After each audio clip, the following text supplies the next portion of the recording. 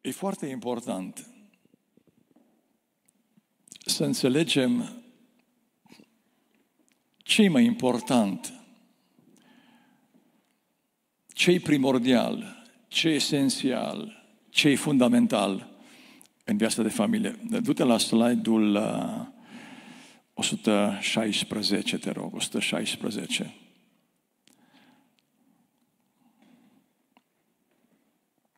Ok? E fundamental să știu să prioritizez lucrurile în viața de familie. E fundamental. E determinant. Dacă nu cunosc care sunt lucrurile importante într-o familie, risc să mă risipesc și să îmi risipesc relația cu soția și copiii în lucruri neesențiale și să regret mai târziu și regretul să fie tardiv, să fie mult prea târziu. Adică să nu mai pot face nimic ca să schimb lucrurile. Și aș porni de la un text pe care îl cunoaștem foarte bine, am pomenit o parte din el, partea a doua am pomenit-o. Psalmul 127, care începe așa, dacă nu zidește Domnul, adică Dumnezeu, o casă, degeaba lucrează cei ce o zidesc. Dacă nu păzește Domnul o cetate, degeaba veghează cel ce o păzește. Degeaba vă sculați de dimineață și vă culcați târziu ca să câștigați o pâine, să mâncați o pâine câștigată cu durere. Căci preabiților lui El, adică Dumnezeu le dă pâinea ca în somn. Iată fii, sunt o moștenire de la Domnul. Rodul pântecelui este o răsplată dată de El. Dacă ne uităm atent la psalmul acesta, psalmul vorbește despre Dumnezeu, nu despre familie, cum am fi inclinat să credem. Accentul psalmistului cade pe cine este Dumnezeu și pe implicarea lui Dumnezeu fundamentală în viața noastră. Da? Uitați-vă, de câte ori apare numele Domnului? Dacă nu zidește, Domnul. O casă, adică o familie. Degeaba lucrează cei ce sunt angajați acolo. Da? Dacă nu păzește Domnul o cetate, degeaba avem noi camere de supraveghere și tehnologie. Ok? Mai departe. Degeaba ne prezint dimineața cu laptea în cap și ne culcăm târziu ca să mâncăm o pâine câștigată cu durere, cu trudă, cu eforturi. El, adică Dumnezeu, ne dă pâine ca în somn, dacă îl iubim pe El. Și uitați-vă, fii sunt o moștenire de la Dumnezeu. Rodul pântecelui, răsplată dată de Dumnezeu. Deci planul ăsta este imbibat în cine și ce face Dumnezeu în implicarea Lui în viața noastră ca și pământeni, pentru că suntem corana creațiunii Lui. Și plecând de la această afirmație, dar nu numai vedea în Scriptură, am încercat să așez prioritățile în viața de familie și să sugerez o ordine a lor. Că mă uit la cine e Dumnezeu și ce vrea Dumnezeu pentru noi ca oameni, constat că atunci când vorbesc despre priorități, vorbesc despre relații. Pentru că viața noastră este un șir de relații. Relația cu părinții, relația cu soția, relația cu soțul, relația cu copiii, relația cu prietenii, relația cu membrii bisericii, relația cu autoritățile și așa mai departe. Deci viața practic este o sumă de relații. Și atunci, când vorbim de priorități în familie, eu le-aș sugera în ordine următoare și o să-și argumentez. Prioritatea numărul unu a vieții de familie, relația cu Dumnezeu.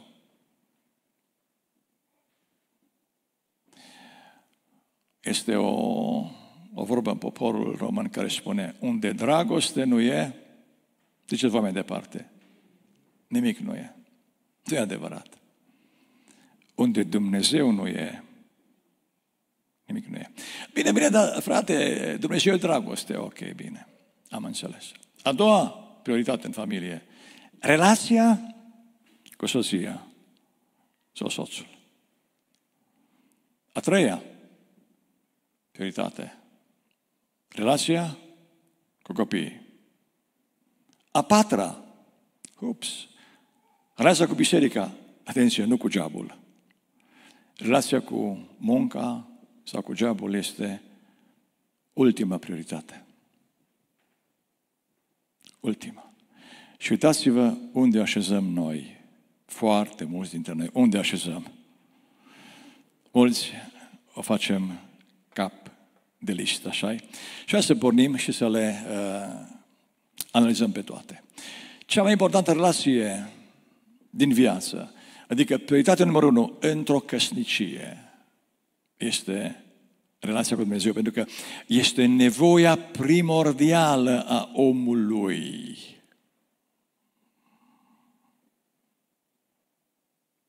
Așa e. Ne-am confruntat seara cu o întrebare foarte importantă. De ce m-am căsătorit cu tine? Ei, când am rostit acel da până la moarte în ziua anunții, niciunul dintre noi nu știam cât de mult va influența viața noastră acel jurământ depus înaintea Domnului. Deci înaintea Domnului. Înaintea Domnului. Și înainte să-l depunem în, în biserică, noi l-am depus, poate unul dintre noi, la un telefon, poate pe net, poate într-un parc, când am zis, vreau să fii soția mea. Și ea a zis, sunt de acord. Dumnezeu a fost martor. A fost martor. Poate că prea puțin dintre noi s-au gândit că acel da va influența existența noastră, inclusiv după moarte. Inclusiv după moarte. Nu știu dacă vreunul dintre, dintre noi ne-am gândit că Dumnezeu a creat căsătoria tocmai cu scopul de a ne pregăti viața pentru dincolo de moarte. Dar văd că o să slide-urile. Hai că aici suntem, da? Um, atunci când ne-am căsătorit și am zis până la moarte, fiecare, nu ne gândeam că viața trăită lângă persoana de lângă noi va impacta atât de puternic viața noastră, încât ne va afecta o eternitate. Și asta pentru că Dumnezeu, când ne-a dat pe mâna celui de lângă noi, am văzut aseară, Dumnezeu a avut uh, ca plan desăvârșirea noastră pentru a ne pregăti să populăm un cer nou și un pământ nou în care, am văzut, va domni neprihănirea lui Dumnezeu.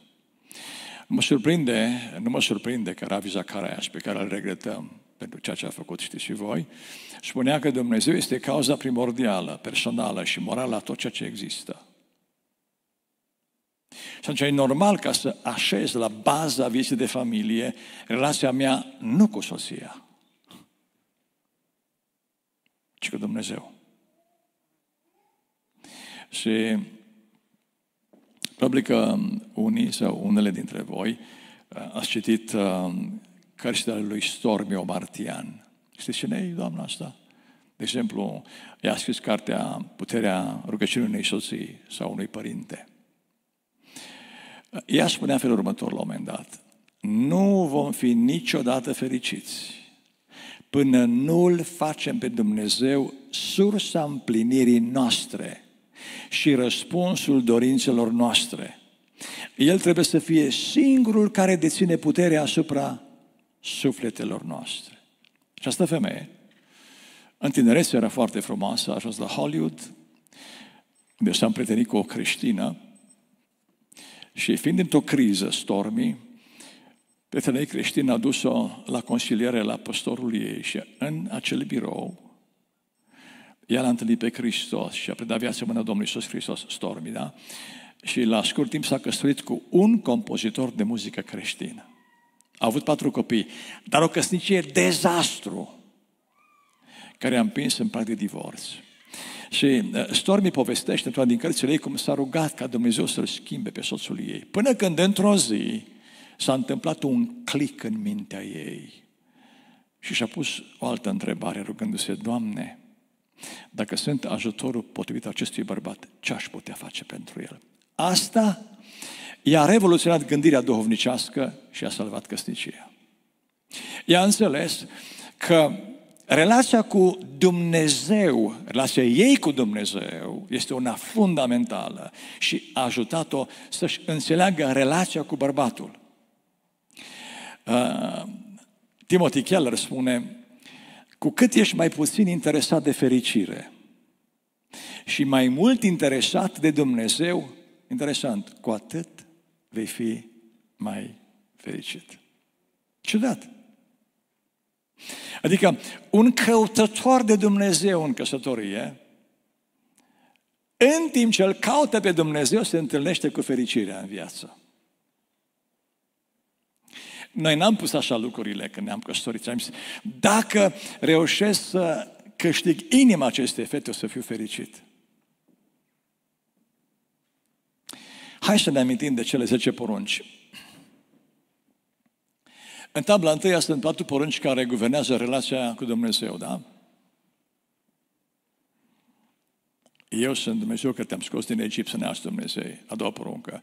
Să nu-ți faci chip cioplida sau vreau o înfățișare la ceva sau cineva din universul acesta, spiritual sau material, și să nu te închini. Trei, să nu-i deșert numele Domnului. Patru, lucrează șase zile și a șapte oprește-te. Toate aceste relații au de face, sau porunci au de face cu relația cu Dumnezeu. Tabla a doua sunt celelalte șase porunci care au de face cu relația cu semenii, mai întâi cu părinții, să cinstești pe tata și mama, da? Și culminând cu a zecea, să nu poftești, să nu dorești nimic din ceea ce nu este al tău. Păi nu așa, nu mă mir că atunci când Domnul a fost întrebat care e cea mare poruncă din lege, a zis să iubești pe Domnul Dumnezeul tău cu toată puterea ta, cu toată inima ta. Și o doua la fel de mare ca asta e să iubești pe aproapele tău ca pe tine însuți. Pentru că în primele patru porunci se formează caracterul omului. Adică în cunoașterea lui Dumnezeu, în umblarea cu Dumnezeu, mă formez ca bărbat și tu ca femeie. Îmi formez acel caracter cristic. Și caracterul, care, atenție, se formează în relația cu Dumnezeu, se toarnă în viața cotidiană prin comportament. Lucrurile sunt simple. De aceea, dragii mei, frați și surori, prin căsătorie Dumnezeu urmărește în primul rând satisfacerea celei mai profunde nevoi structurate de El, în adică relația cu El. Când Dumnezeu a gândit să te căsătorești cu persoana care e lângă tine, Dumnezeu te în minte ca prin acea persoană să împlinească, să te ajute să împlinești cea mai mare nevoie din viața ta, relația cu El. Tocmai de aceea Pavel ne spune categoric că Dumnezeu interzice relația între un creștin și o necreștină, adică între unul care cunoaște pe Domnul și un păgân care nu-L cunoaște. Pentru că prin o asemenea căsătorie, cum ai putea să-L ajuți pe cel de lângă tine să aibă o relație mai adâncă cu Dumnezeu? Cu alte cuvinte, vrei să fii fericit în căsnicie? Ajută-ți soțul sau soția să aibă o relație mai profundă cu Dumnezeu, adică să-L cunoască mai bine. Pentru că profunzimea relației noastre maritale depinde de profunzimea relației noastre cu Dumnezeu.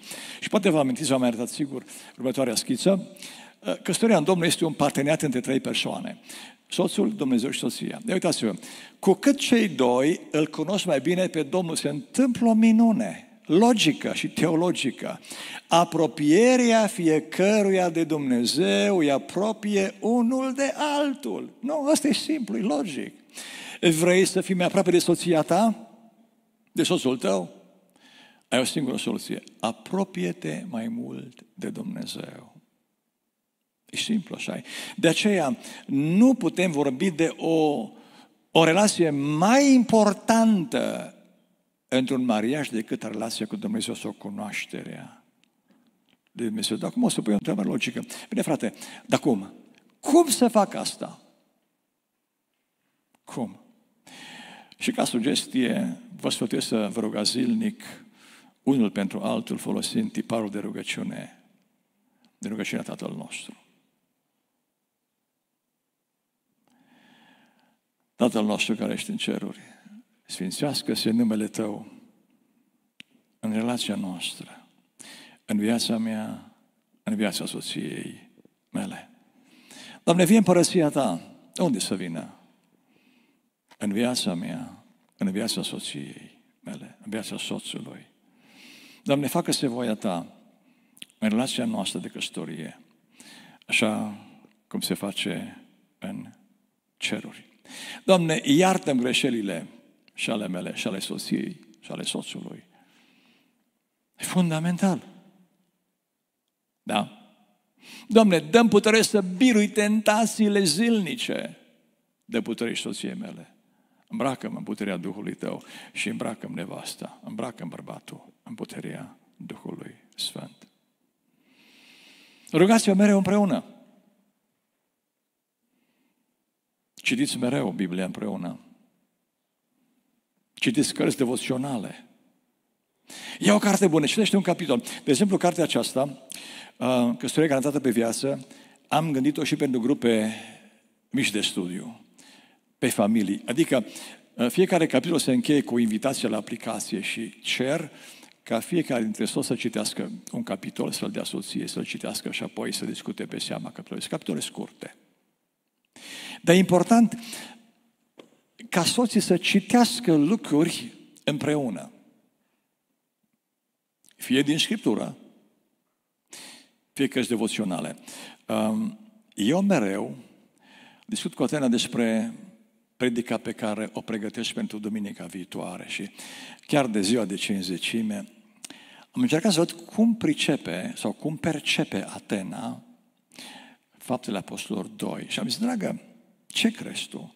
De ce a fost necesar să coboare Duhul Sfânt în ziua de cinzecime peste cei 120? Care a fost scopul principal? Foarte interesant, Iosif, să vezi cum gândește soția um, pe texte biblice. Pe mine mă ajută foarte mult. Și îmi pare rău că n-am înțeles de la început valoarea Atenei, că de-aia mi-a Dumnezeu, da? Deci, cum să cum să am o relație mai bună cu Dumnezeu? Păi, citesc din Scriptură, citesc cărți devoționale, după ce mă rog împreună cu soția mea, da? Comentez cu ea ceea ce am citit. Discutăm despre scopurile lui Dumnezeu cu privire la familie și mergem amândoi la biserică. Deci, dragii mei, de departe, relația fiecăruia dintre soți cu Dumnezeu este cea mai importantă relație într-o căsnicie. Dacă un bărbat îl cunoaște pe Dumnezeu și îl iubește, soția lui poate dormi liniștită dacă el pleacă într-o delegație două săptămâni.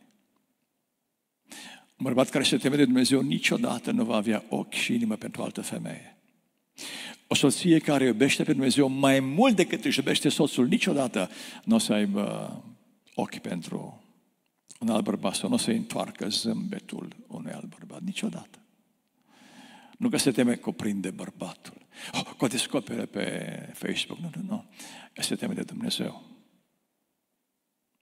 La urmă urmei, relația cu Dumnezeu se naște dintr-un respect, dintr-o teamă sacră de cine e Dumnezeu și de scopul Lui cu la viața noastră. Asta e prioritatea numărul unu într-o casă. Relația cu Dumnezeu. Doi, relația cu partenerul de viață. Relația cu soțul, relația cu soția. Și aici o să fac o afirmație care să putea să vă pună pe gânduri. Lucas mă jos că văd că nu, nu mă ascultă jucăria. Nu poți fi fericit în viață, în căsătorie, da? Până când nu vezi în soție sau în soț cel mai important om de pe pământ. Nu poți avea o căsnicie fericită care să te împlinească până când nu declari, până când nu crezi, până când nu faci din soție sau soț cel mai important, cel mai iubit dintre pământeni. Este imposibil.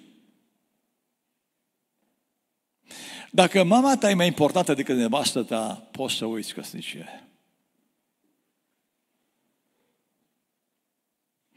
Dacă mama ta e mai importantă decât bărbatul tău, poți să uiți căsnicia aceea.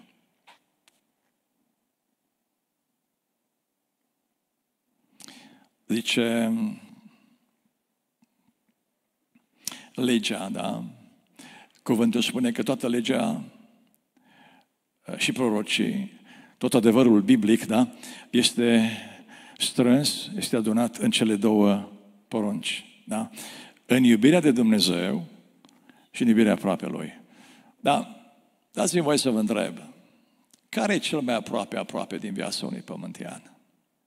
Aproapele meu cel mai aproape se numește Atena. nu poate fi un aproape mai aproape decât ea, pentru că dormim în același pat de 37 de ani. Ea e aproapele meu. Soția mea. așa -i? Aproape tău e soțul tău, e bărbatul tău.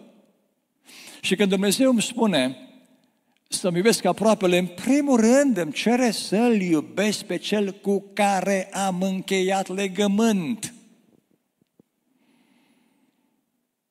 Aș putea să parafrazez afirmația lui Ioan din, uh, din prima lui epistolă, unde zice, dacă zice cineva, eu iubesc pe Dumnezeu și urăște pe fratele său, este un mincinos.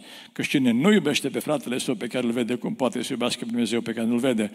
Acum, aș putea să, să zic, cine zice că iubește pe Dumnezeu, dar nu iubește pe nevastă sa, sau pe bărbatul său, da? E un mincinos.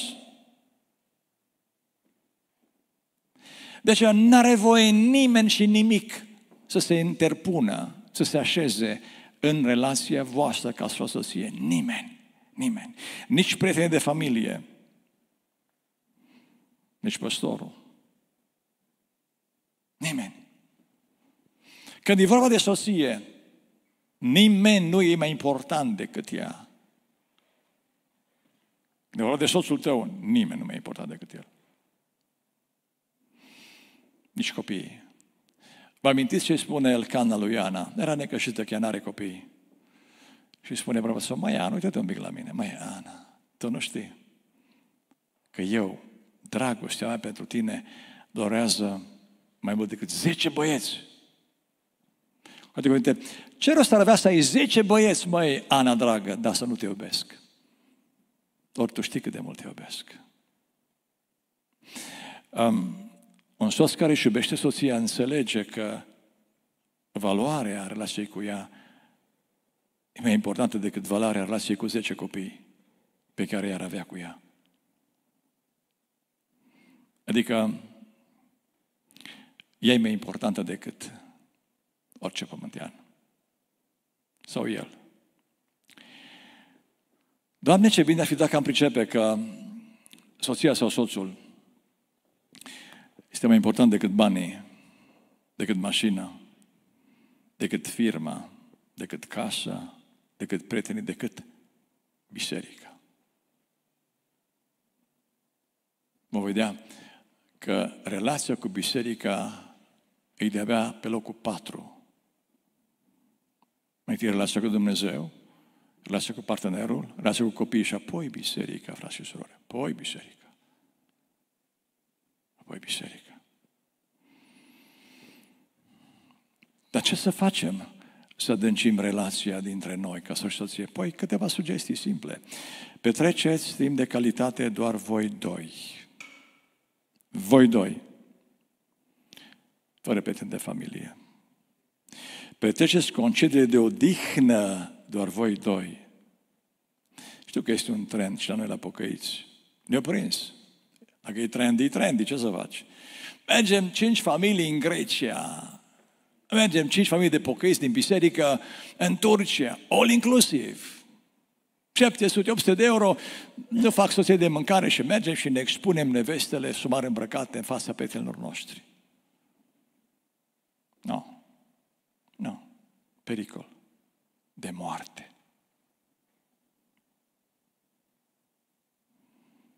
Le spuneam odată la oameni care gândeau așa, zic, auzi, când aveți uh, grupa de casă, de ce nu veniți în costume de baie, în sufragerie la cine vă întâlniți? Vai, frate, pastor, cum adică în costume de baie la studiu biblic? Dar păi tu de ce în costume de baie cu prietenii pe litoral? Care e diferența? Bine, frate, acolo toată lumea e goală. Aha, am înțeles. Am înțeles ideea. De ce ne este jenă în timp ce ne rugăm? șapte familii să fim în costume de baie la rugăciune. Și nu în gene să ne expunem pe plajă. Care e diferența? Știu care e diferența. Aproape niciuna. Faceți cât de multe acțiuni împreună. Ce acțiuni? Puneți mărături pe iarnă. Puneți dulceață împreună. Săpați grădina împreună. Spălați mașina împreună. Când o faceți acasă, nu la self-service. Mare atenție!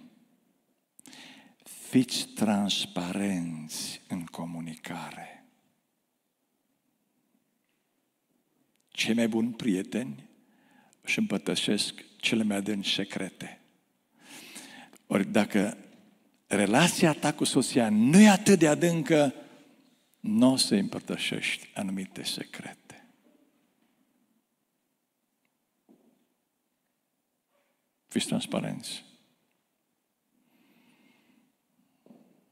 Odată, un frate îl sună pe un prieten de-a meu. Spune, băi, m-am certat cu nevasta la cuțite. Dar de ce? Păi tată insistă să mergem în concediu pe litoral și eu nu vreau. Păi de-aia v-ați certat? Da. Dar și prietenul meu, i-ai spus de ce nu vrei? Nu. Dar de ce? Păi mi-a fost rușine. Ce, omule, spune soției, de ce nu vrei să mergi pe litoral cu ea? Și apoi sună. Mă ce mă sună peste vreo oră. Zice, bă, nu mai vrea să vină ea cu mine pe litoral, că o să mergem la munte. Eu, păi de ce? Păi am spus așa, mă nevastă, dacă eu viu cu tine pe litoral, e plin de femei aproape dezbrăcate. Și eu ca bărbat, no, cât aș fi de pochet, pot să am Biblia pe plajă, mă, când le văd, no, s-a tras. Și o să zice, mă, omule, păi de ce nu mai să mergem la munte, mă? Dar ne rușine să spunem soției că noi avem niște slăbiciuni și înclinații păcătoase. Păi cum să știe? Dar și păstorii la fel, că noi suntem bărbați. Nu suntem de plastri, nici de cauciuc, înțelegeți? Nici de piatră. Suntem oameni de carne și sânge. Avem și de hormoni și inclinații. Ori e important, bă, nevastă, vezi că eu sunt bărbat, mai nu de cauciuc, mă vezi că am trăirile mele. E important să vorbim cu soțiile aceste lucruri.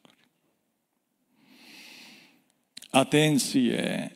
Nu împărtășiți nimănui experiențele voastre din dormitor. Pericol de moarte. De ce să spui tu ca femeie la prietena ta, hai să spun, uite ce fain mă tratează bărbatul tu. Întotdeauna sunt împlinită. Dacă faci asta, riști să induci în mintea prietenei tale dorința de a avea experiență cu soțul tău ca să fie și ea împlinită. Nu povestiți experiențele voastre cu nimeni. Și când aveți probleme în căsnicie în zona asta, mergeți la păstor, la consilier și spuneți, frate, cei mai buni prieteni ai noștri se confruntă cu asta, dar voi știți că e vorba despre voi. Și consilierul, dar vă faceți că nu știți unul despre altul. De ce? Ca să nu rămâi cu impresia, mă, păstorul meu știe cum ne portăm și când ne predică și se la noi și amintește. Nu spuneți despre voi. Spuneți că prietenii voștri nu e un păcat, nu e o minciună, vă protejați căsnicia. Și protejați și pe săracul păstor, care e om și el, da? De ce să știe el toate lucrurile din casa voastră? Să știe de niște, din casa unor prieteni necunoscuți lui. Și el adăpost și el, ok? Deci, a doua prioritate în viața de familie, după relația cu Dumnezeu, e relația cu partenerul de viață. A treia prioritate, viața de familie, este relația cu copiii. Cineva spunea foarte bine, îl cred că nu există ocupație mai importantă decât ocupația de părinte. Dobson spunea că atunci când apare un copil în viața ta trebuie să-ți modifici toată agenda, toate programările. Bebelușul ăla e în stare să-ți dea peste cap agenda. Chiar dacă ești mare speaker, multe like-uri, mare predicator, mare conferențiar, bebelușul tău să da peste cap toate programările și invitațiile. El devine important în viața ta. Nu că an, le-am pe toate, dar îți aranjezi, îți ajustezi agenda. Um, spunea Ben Carson, acel neurochirurg care a operat siamezi, zicea în felul următor, copiii sunt cea mai valoroasă materie primă din univers. Normal, că e o moștenire de la Domnul spune psalmul pe care l-am citit mai devreme. Ei, știind că Dumnezeu îți dă pe mână, ție și nevestei, ție și bărbatului tău, o parte din averea Lui, că te invită să fii partenerul lui Dumnezeu în educarea, în formarea, în modelarea acestor copii, până când Hristos locuiește în ei, ce privilegiu ai. Și atunci, e clar că în acest context, cea mai mare investiție pe care o poți face pe pământ e să-ți crești copiii în parteneriat cu Dumnezeu. Să înțelegi că pruncii tăi sunt mai importanți decât banii voștri, decât mașina voastră, decât casa, decât business decât prietenii, decât biserica. Sunt mai importanți. Sunt mai importanți. Și apropo, Iosif, când ne vom întâlni cu Hristos Domnul, să primim răsplata, dacă zidim aur, argint, pietre scumpe, să ne întrebem în primul rând de soția și copiii noștri.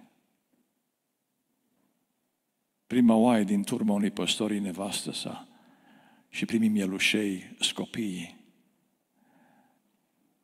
Iosive, Paște, oaia care ți-am dat-o. Paște mielușei care ți-am dat. Și apoi oile din turmă și mielușei din turmă și oițele. Mai întâi copiii, nevastă și copiii. Sunt mai importanți decât biserica locală. Mai întâi suntem soți și tați și apoi suntem păstori, dragii mei. Apoi suntem evangeliști, apoi suntem misionari și așa mai departe. Și aici se aduce, se un semnal de alarmă, un mare avertisment pentru noi bărbați, începând cu mine. La și de iarăși pedapsă care spune, familiile noastre vor supraviețui teribilelor probleme cu care se confruntă acum, atenție, dacă și numai dacă bărbații își vor lua în modul cel mai serios rolul de conducător iubitor ai familiilor lor, așezându-și soțiile și copiii în vârful listei priorităților lor, extraordinar. Nu avem cum să rezistăm provocărilor din acest final de istorie decât dacă ne așezăm soțiile și copiii în vârful listei priorităților. De ce nu mă mir? Că Piper spune așa, ne vorbea nouă bărbaților, tu ca bărbat ești conducătorul familiei tale sub autoritatea lui Hristos, de aceea, sau de asta au nevoie cel mai mult familiile noastre azi. Când mă gândesc la rolul nostru de bărbați ca și conducători, mă gândesc la implicarea celor mai adânci nevoi și dorințe ale soților noastre. Iată la ce mă refer când spun, da? Asta, voi bărbații. Voi sunteți cei care trebuie să luați conducerea în lucrurile Duhului, voi trebuie să vă conduceți familia în rugăciune, în studierea cuvântului lui Dumnezeu, în închinare. Voi sunteți cei care trebuie să oferiți familiei viziunea și misiunea ei. Voi trebuie să luați conducerea în modelarea morală a familiei și în menținerea unei atmosfere de pace în familie. Bărbatul care își înțelege menirea, înțelege că locul lui este pe genunchi lângă soția lui în rugăciune, înțelege că locul lui este pe genunchi lângă copiii lui, conducându-i în închinare și rugăciune. Locul lui este la volan, conducându-și familia în casa lui Dumnezeu sau la casa lui Dumnezeu. Locul este dimineața în zori în rugăciune, singur înainte lui Dumnezeu, căutând viziune și călăuzire pentru familia lui. În primul rând, chiar dacă e pastor, de pentru biserică. Da? Și spune Piper, bărbaților, vă provoc în numele lui Iisus Hristos, Domnul nostru, să fiți acolo unde trebuie să fiți. Adică luptând pentru familiile voastre, cum am început aseară, da, uh, Neemia 4 cu 14. O zi am primit pe net următoarea imagine, pe WhatsApp. Uh, zice tata către copil, copilul meu, ai mare grijă pe unde pășești. Și copilul îi spune așa, ai grijă tu, tati, eu pășesc pe urmele tale.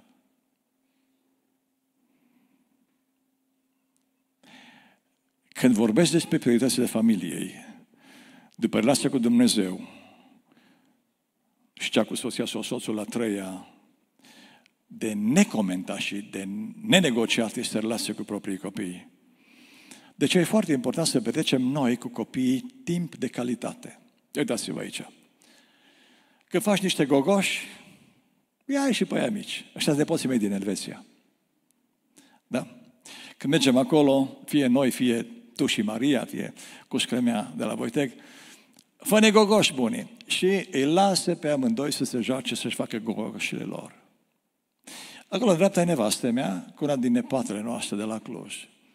Citește cărți pentru copii. E foarte important să petreci timp de calitate când ești tu numai cu copii. Mergi într-o excursie. Asta e fica mea, da. Și în stânga, poate știți pe Adi acolo. Um, eu rămân surprins și Adi, care e păstor în Elveția de peste 10 ani, îmi dă lecții. De exemplu, el lunea are liber. Plătește o femeie în vârstă să stea cu copiii lor și o ia pe fica mea pe Damaris și hoinăresc prin oraș.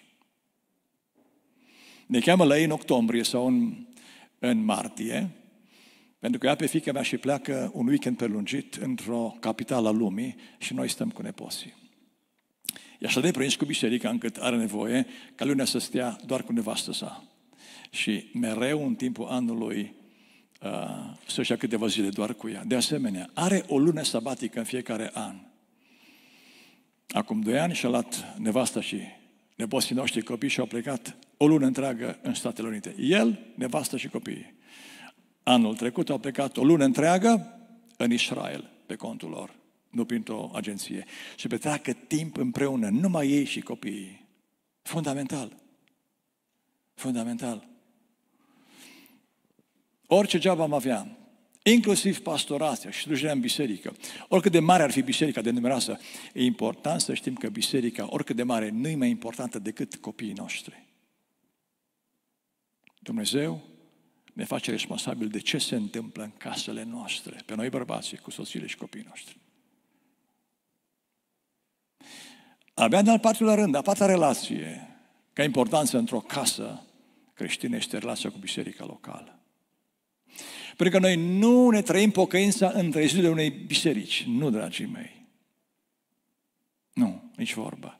Ne trăim pocăința în relația dintre noi și apoi copiii noștri când îi avem între zidurile caselor noastre, nu ale caselor de rugăciune. Maturitatea mea duhovnicească nu se măsoară în capacitatea de a prezenta cuvântul Scripturii Bisericii lui Hristos nou, ci în capacitatea de a gestiona relația cu soția mea și copiii. Acolo se de pocăința mea. Și dacă am nevoie de plinătatea Duhului Sfânt, e tocmai ca să mă înțeleg mandatul să mă port cât mai bine cu soția mea, să-l gândesc cât mai bine caracterul lui Hristos în relație cu Atena. De am nevoie de plinătatea Duhului.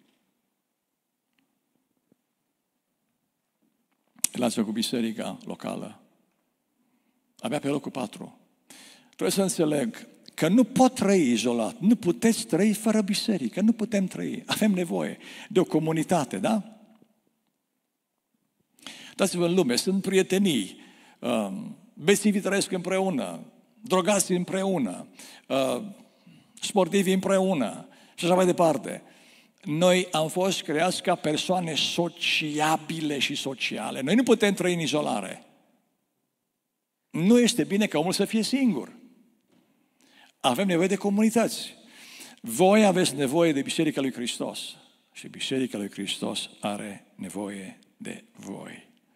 Și îmi place mult ce spune un uh, părinte al bisericii din secolul II, el zice, cine nu-L are pe Dumnezeu ca tată și biserica lui ca mamă nu poate fi mântuit. De ce? Dumnezeu este Tatăl nostru care l-a dat pe Hristos să moară în locul nostru, să ne introducă în trupul tainic al lui Hristos, care e biserica. Noi nu putem fi mântuiți în afara trupului lui Hristos. Cine nu-i parte integrantă a trupului tanic al lui Hristos, ce nu-i mălor activ într-o biserică locală, nu poate fi mântuit. Nu există mântuire în izolare. Uitați ce spune Apostolul Pavel când zice în Efeseni 4 cu 16, din el, adică din Hristos, tot trupul bine închegat și strâns legat prin ceea ce dă fiecare încheietură, își primește creșterea potrivit cu lucrarea fiecarei părți, în măsura ei și se zidește în dragoste. Noi suntem uh, fie o articulație care ține câteva elemente din trupul lui Hristos, fie acel element necesar trupului Hristos. Noi avem nevoie de comuniune și de comunitate. Dacă mergi la repetiții, ia-ți pruncul. Deci în stânga sunt băieții noștri cu fetele noastre, cu nurorile, da? Uh, cel mai din stânga este Ionatan, celălalt este Paul, da? Deci este prima fetiță a lui Ionatan, au patru fetițe acum. De micuți au dus copiii la repetiții. Noi în biserică la Dej avem uh, familii cu bebeluși Și surorile după ce nasc, când se simt bine la două săptămâni, vin cu bebelușii în biserică, deși avem binecuvântarea peste o lună sau peste două luni. Egal. Când pruncui cu mințel, le vedem la biserică. Și dacă veți veni într-o joi seară, de exemplu, veți vedea că sunt câteva fetițe bebeluși de câteva luni, la oricine merg în brațe, pentru că s-au învățat cu comunitatea de bebeluși. Nu fug de, de bătrânei că l-au din singură. Le sar în brațe, zici că noi le spunem copiii bisericii. Pentru că de micuți au fost crescuți în comunitate, în zgomot, în rugăciune, în cântare și vin cu plăcere la biserică. Acum, vorbim despre locul copiilor ca prioritate viața de familie și de locul bisericii.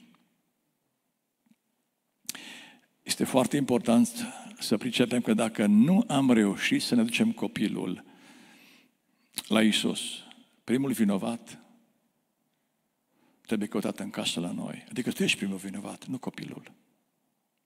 Și spunea MacArthur foarte bine când zicea secretul misiunii noastre de părinți este funcție de ceea ce facem noi, de, de ceea ce fac copiii. Adică, dacă ne sunt dragi copiii și este în prioritatea numărul 3, atunci facem tot ce știm să-i atragem într-un mediu duhovnicesc numit Biserica lui Hristos, care e biserica locală. Ori copiii nu vor veni la biserica locală dacă nu au o relație solidă, puternică cu tati și mami. Dacă tati și mami au o relație solidă cu copiii, ei vor fi atrași de Dumnezeul din părinții lor. Da? Și în final, a cincea prioritate în viața de familie este relația cu munca. De când a creat Dumnezeu pe om, l-a așteptat în grădină cu scopul să o lucreze și să o păzească. De asemenea, porunca patra spune foarte clar să lucrezi șase zile, să-ți faci lucrul tău. Da? și apoi să te odihnești. Adică șase din șapte trebuie să muncim. Nu ne spune textul câte ore. Muncim, dar la șaptea am tras linie, ne odihnim. Și ne bucurăm de ceea ce Dumnezeu a lucrat în viața noastră timp de șase zile. De asemenea, Pavel atrage atenția și zice, cine nu vrea să lucreze, nici să nu mănânce. Ceea ce este interesant este că dacă ieri pâinea aduna membrii familiei în jurul ei, adică acum 50 de ani, uh, familiile lucrau aceeași petec de pământ, erau toți trei generații într-o casă, toți lucrau moșia aceea, pământul să scoată pâinea. Acum aceeași pâine ne împrăștie pe toate clocaurile planetei. Da? Ne căutăm geaburi care mai de care să câștigăm o pâine și familia nu mai este adunată în jurul pâinii, ci este împrăștiată de pâinea aceea. Pavel ne aduce aminte că noi n-am adus nimic în lume și nici nu putem să luăm cu noi nimic din ea. Mai mult, dacă avem cu ce să ne hrănim, cu ce să ne îmbrăcăm, ne va fi de ajuns. Din păcate, noi uităm un lucru fundamental, adică nu suntem atenți la timpul alocat slujbei. Nu suntem atenți la orele suplimentare. Uităm impactul pe care îl are anturajul de la serviciu. Și stăm ore suplimentare pentru că suntem plătiți mai bine. Și cheltuim mai mult timp la lucru în speranță că vom fi liberi mai târziu și în loc să alocăm timp relației cu partenerul și cu copiii, noi alocăm timp obiectului muncii și încet, încet ne absoarbe munca și e fură timpul la care au dreptul cele mai dragi persoane din viață. Noi eu știu că șebelenii sunt foarte, foarte și prea harnici. Nu-i rău. Dar când hărnicia ne scoate afară din familie, oriunde ne-ar scoate, familia este cea care suferă și suferă irreversibil. După ce copiii au crescut, destul de mari, nu mai poți să întoarce timpul. Eu cu Atena știm o familie și o știm foarte bine. Este din uh, rudele noastre un pic mai depărtate. Au uh, două fete. Cea mare are 18 ani, face anul acesta și au crescut fără tată, pentru că tata este la muncă în altă țară și trimite bani, este un fel de sponsor, vine din când în când. Și cea mare la 18 ani spunea, oricum i-am trăit fără tată până la vârsta asta. 18 ani. Stă tata departe într-o țară, fără nevastă, adică mama fiicelor lui, și face bani să trimită în țară. Și în fiecare an când vine, fetele sunt mai mari, mai mari, mai mari, mai mari. Dar mai departe, mai departe și mai departe de tata. Ce folos? Ce folos? Mulți dintre noi ne ascundem sub dorința de, sub pretenția că adunăm bani și valori materiale să oferim un viitor copilor noștri. De fapt, noi ne alimentăm egoul nostru și setea noastră după mai mult. Suntem niște mincinoși. nu așa? Firma ta merge mai bine decât căsnicia ta pentru că ai alocat mai mult timp firmei decât căsniciei tale. Simplu. Hai să recunoaștem. Te-ai căsătorit cu soția ta, cu soțul tău, nu cu firma. Copiii tăi sunt mai importanți decât firma. Copiii tăi sunt cei din casa ta, nu angajații firmei. Unde e comoara ta? Acolo e inima ta. Dacă petreci mai mult timp la serviciu, e clar, comoara ta este acolo. Venitul tău, anturajul de la serviciu și nici de cum, copiii tăi. Mare atenție, frați și surori. Orice slujbă am avea, dacă slujba ta îți oferă mai multe satisfacții decât timpul cu familia ta, ești într-un mare pericol. Spune Hristos, Domnul, ce-ar folosi unui om să câștige toată lumea dacă și-ar pierde sufletul? Sau ce-ar da un om în schimb de sufletul lui? Dați-mi voie să reformulez afirmația lui Iisus, să spun așa, ce-ar folosi unui om să câștige toată lumea dacă și-ar pierde familia? Sau ce-ar da un om în schimb pentru familia lui? Adică Dumnezeu ne-a dat pe mâna unei femei, pe mâna unui bărbat, să ne modeleze. Apoi, prin cea de lângă noi, prin cea de lângă noi, ne-a binecuvântat cu copiii pe care îi vrea în împărăția Lui. Ori dacă pierdem șansa de a modela caracterul celuilalt și a copiilor, pentru ce ne-am trăit viața? Pentru ce?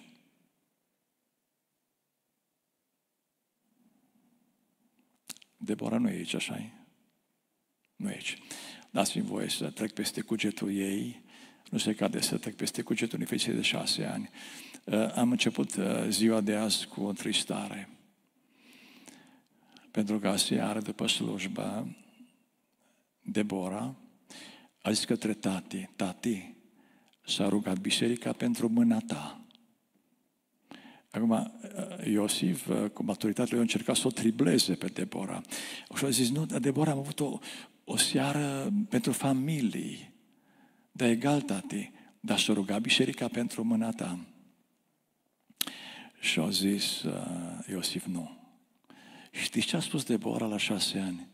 Atunci degeaba ați fost la biserică. Mi-a fost rușine. Dar am zis, Debora, tati nu ne-a cerut să ne rugăm și ascultați ce mi-a spus. Adrian, ascultă. Dar ați văzut mâna lui tati cum e. Mi-a închis gura. Adică mai era cazul să vă spună, n-ați văzut mâna lui. Bă, omule, tu ești pastor, putea să zic, ai 62 de ani, tu n-ai văzut cu mâna lui tata. Ce să-ți mai spună tata? Dacă nu facem ce trebuie, degeaba venim la biserică. Dacă nu suntem soții și soțiile pe care le, le dorește Dumnezeu, degeaba, degeaba cântăm la instrumente, degeaba predicăm, degeaba recităm, degeaba stăruim, degeaba. Degeaba avem seri prelungite rugăciuni, degeaba. Degeaba. Ce-ar folosi unui om să câștige toată lumea dacă și-ar pierde familia? Dacă vrei să fii fericit